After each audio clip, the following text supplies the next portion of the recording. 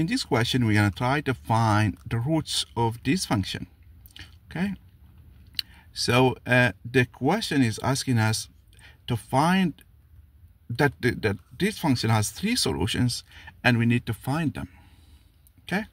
I think we can do this one very quickly, but we're going to learn something from this question. Okay. So three solutions and we need to find them. That means we can do a trick or maybe some factorization and get them very quickly. The key idea here is that we can use some factorization here. Okay, so that means we need to solve, to get the solution, we need to solve f of x 0 equals 0. That means the uh, this function, this equation equals 0.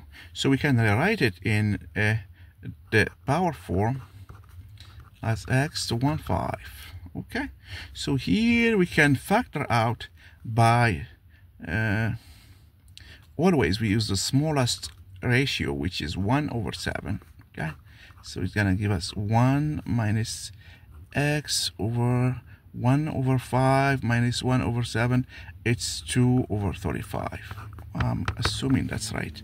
So let me check. 1 over 7 minus 1 over 5 minus 1 over 7 okay that's that's right. Okay now to get the solutions I see them now. So to get the solutions we're gonna write this one here. So we have a first one zero. Or we can see that zero is a solution from here. So when we plug zero we get f f of zero is zero. That means it's a solution. We can also see that we have one because when we plug one we get zero. So that means okay here we're gonna write this one as 1 minus x to the power 1 over 25 square okay?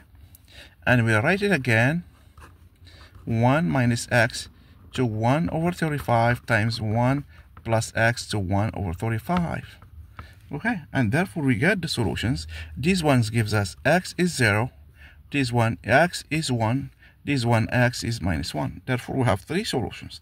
These are the solutions of our, of our equation.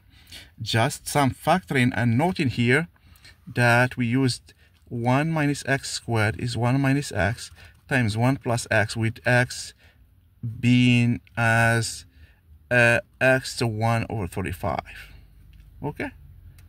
So that's that's that's the key to note this one and factoring always factor by the smallest ratio so the, this one here 1 over 7 and we get the result. What if we have tried by factoring by 1 over 5? So we're gonna have a negative, okay, a negative ratio.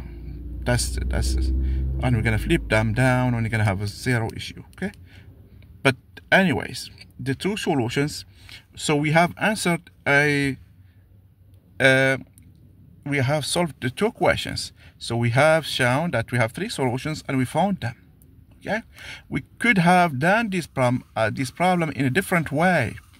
But uh, I think factoring is the, the, the the easiest way to answer these two questions at the same time. So three solutions and we find them. So doing them at the same time. So if you go another way, you have to find the solutions or try to show that they exist and you have to find them. Okay.